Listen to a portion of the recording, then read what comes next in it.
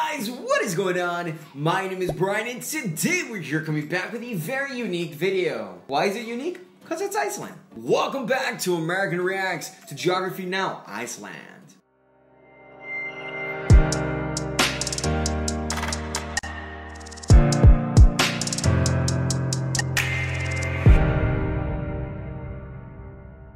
Well, my friends, some of you guys might still be here. Some of you guys are probably not. If you guys did not notice, YouTube took down the music series version of the Iceland because of uh Bork or b Bidork, Bjork, whatever, however you pronounce it. Bro, for like the average human being, Icelandic is like the most complex language to learn. Just saying. Hi guys, my name is Brian. If this is the very first time you're seeing me, what's up? I'm currently on an adventure to discover music, culture, and food, and religion, and everything else in between from all the countries around the world, starting in Europe. Yet somehow, I ended up here in Iceland. We're to be checking out an amazing video by a YouTube channel here named Geography Now. What they usually do, they educate people like me and you about the amazing things about each individual country. So if you do want to check out the original, it is going to be linked down in the description box. We usually cut them and edit them a little bit to make it easier on us, you know, because too much information. Alright my friends, so make sure you check out my Instagram. It should be somewhere here on this video. If not, you could go down below into the description box and just click it and go. How easy. But let's see what we can learn today about Iceland. It's time to learn geography. Now! Hey everyone, I'm your host Barbs. So, full disclosure before we start, like my pronunciation for Icelandic words is gonna suck so bad in this episode. I do not advise you to play a drinking game for every time I mispronounce something. You will get alcohol Done. poisoning and you might die. I repeat, you could die watching this. I don't want to die. Iceland! Just the name invokes an obvious clue about where it is geographically. First of all, the country is located at the confluence of the Atlantic and Arctic Oceans east of Greenland and just south of the Arctic Circle. The country is divided into six constituencies, three big ones, and three of which are confusing because they basically just split up the most populous areas in the west. Reykjavik is the capital Oh. and the northernmost capital in the world, which is split into two constituencies, north and south, whereas the southwest constituency is divided into four non-contiguous exclaves, but they still act as one constituency, not What? four. So it's six small separate entities that act as three constituencies. Get it? No. Great! This was done to help with the imbalance of the sparsely populated outer regions. That was literally me. located in the Reykjavik metropolitan area. Nonetheless, most of the country still refers God to areas damn being it. located in the traditional eight region zones, which are divided like this. The country has many domestic airports, but the one large-scale international airport is Keflavik International, and the next two busiest ones are Reykjavik and Akureyri. Reykjavik and Akureyri are domestic airports except for seasonal service to Greenland internationally. Iceland's domain We is had a WoW Air, which made traveling to Iceland very cheap. Smaller islands and archipelagos off their coasts. The most populated ones being Heimaey, Hrisey, and Grimsey, and some in the south, like the newest island that just popped up in the 60s, Surtsey, which is off limits to anyone except permitted scientists who study it. Otherwise, Oh, Iceland may interesting. rugged, but the islanders sure have paved a way for you to see it all. The Ring Road. This guy takes you all around the entire country, and depending on how much time you want to stop and see the sights, it could take you anywhere between four-ish to seven days to complete. Otherwise, sounds the top pretty reasonable, though. Sites and landmarks might include the National Gallery, the Viking World Museum, the stone carvings of Paul Guðmundsson, the U.S. Navy D-3 plane wreckage Whoa. site, the hit Viking Village, the Sea Monster Museum, pretty much all of Akureyri, the Whale Museum, the Design Center. All over the countryside, you can find turf houses with grass on their roofs. That looks like straight up, like, out of the Lord of the Rings. church, Now, as interesting as those man-made sites and landmarks may be, These names are in killing me, man. land has to offer. Let's jump into the fire and ice. Alright, let me just put it this way. Iceland doesn't need an amusement park or roller coasters because the entire island is just like a wonderland in itself. First of all, Iceland is the 18th largest island in the Sounds world, fair. the second largest in all of Europe. The entire country lies transected on the mid-Atlantic range, which divides the North American tectonic plate with the Eurasian plate, splitting open about two centimeters every year. You can even oh, see Oh, the wow. divide for yourself with your own eyes. Nearby Reykjavik at Thing with the largest natural What are lake, these letters? the land splits open, and you can literally walk from Eurasia to North America. Underneath the waters, you can get even closer to the divide at the Silfra, whew, that was easy, known as the clearest water diving spot in the world, where visibility can go up to 100 meters. Oh my Over God. 80% of the country is mountainous, with the tallest point, Hvannadalshnúkur. 11% of the country is covered with six I gotta give him credit for even one in the trying, dude. Vatnajökull, and the smallest one, which just erupted in 2010, Eyjafjallajökull. With hundreds of volcanoes and about 30 of them are consistently active, as the longest river, the beginning was a fair warning. meanders through the deep central Hofsjökull glacier to to the ocean. so basically, the entire island is geothermal. Everywhere you go, chances are you can probably find a natural hot spring hidden oh somewhere Oh God, in the that is so wilderness. Cool, only that, dude. but Iceland also harbors and capitalizes off of this unique, valuable resource as much as possible. When the first Vikings came in, they were like, Wow, it is cold in here. I mean, I knew Norway was chilly, but dang. "Is there anything here we can use to not like freeze to death?" Oh They killed a lot of sheep and made oh more my god. Then eventually they found out how to generate power with the hot springs. Geothermal energy provides about a quarter of the country's power alone, and the rest is mostly hydroelectric from dams and renewable sources. Nonetheless, only about 1% of their land is arable, mostly confined to the south peripheral lowlands where root vegetables and kale and cabbage and cauliflower are grown, alongside numerous geothermal heated greenhouses that harvest warm climate produce like tomatoes, cucumbers, and yes, even bananas, making Iceland the northernmost banana producing country in the world. Of course, the country also Facts. hosts a unique variety of Arctic wildlife like puffins, foxes, seals, narwhals, and the national animals, the gyrfalcon, and the famous highly accredited Icelandic horses. By the way, Oh my yes, it's God, Iceland them their luscious country with no hair. mosquitoes, however, they do have two species of midges. he said midget. Midges, which are similar Midges. to mosquitoes. And actually, one of the species does actually bite, so it's kind of like having mosquitoes anyway. Iceland has fighting midgets. Traditional Icelandic food is, let's just say, even my Icelandic friend said this. Give that guy a raise, man. Why would anyone eat this? Yeah, let's just say the Vikings had some very unorthodox tactics when it came to food preservation. Dishes haven't like tried it yet. sheep's head, stockfish jerky, head cheese, sheep testicles, and the famous hákarl. What is it exactly? Well, let's just say. Hey, so I uh, got the shark, but it's poisonous. Uh, how do I eat it?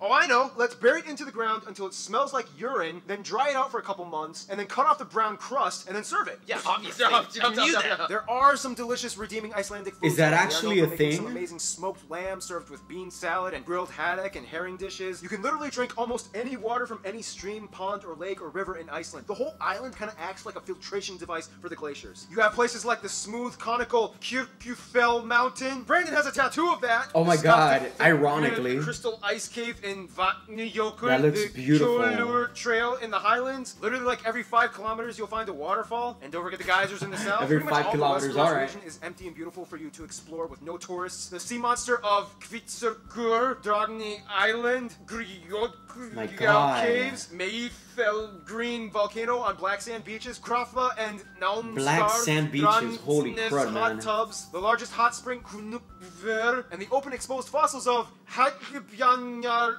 Yeah, just just throw in the towel, man.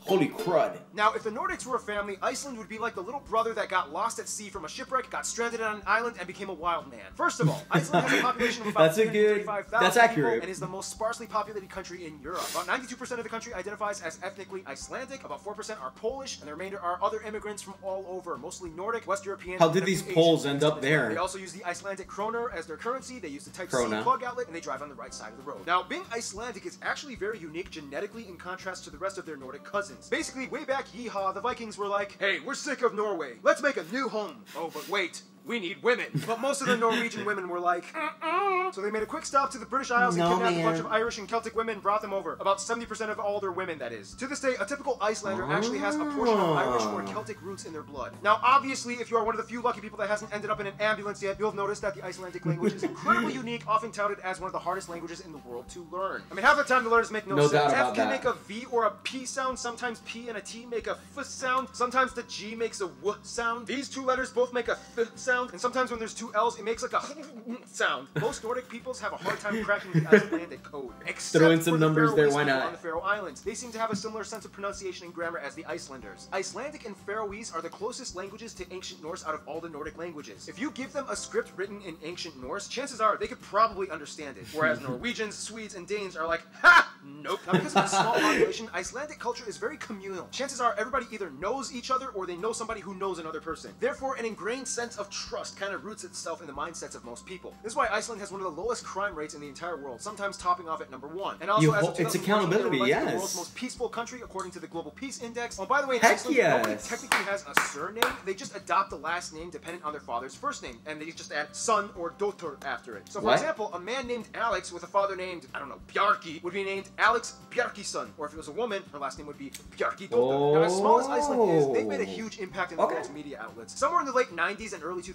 word spread fast, and to this day, tourism is almost getting out of hand as they get over three times their own population in tourism every year. Hotels need to be built, staff need to be hired, and diplomacy is key in operating the whole deal. Which brings us to Wow.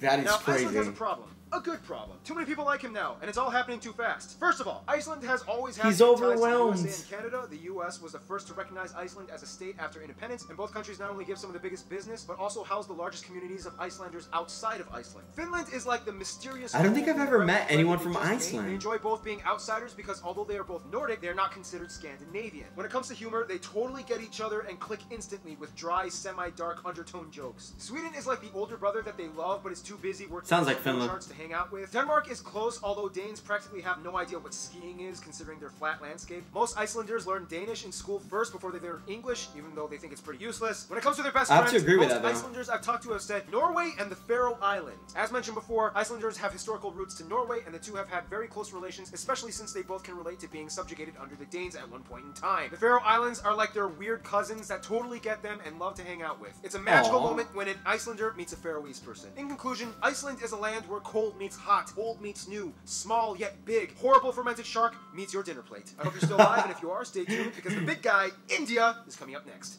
Absolutely amazing. Thank you so much, Barbie. Where to begin? Where to begin? Jesus Christ. So how about we start off by one of you guys DMing me on Instagram, like a voice recording as to how to actually pronounce that church, like that very famous church that you guys have in the center. It started, with, I think, with like an H. Iceland definitely has a lot of amazing things that I was not aware of.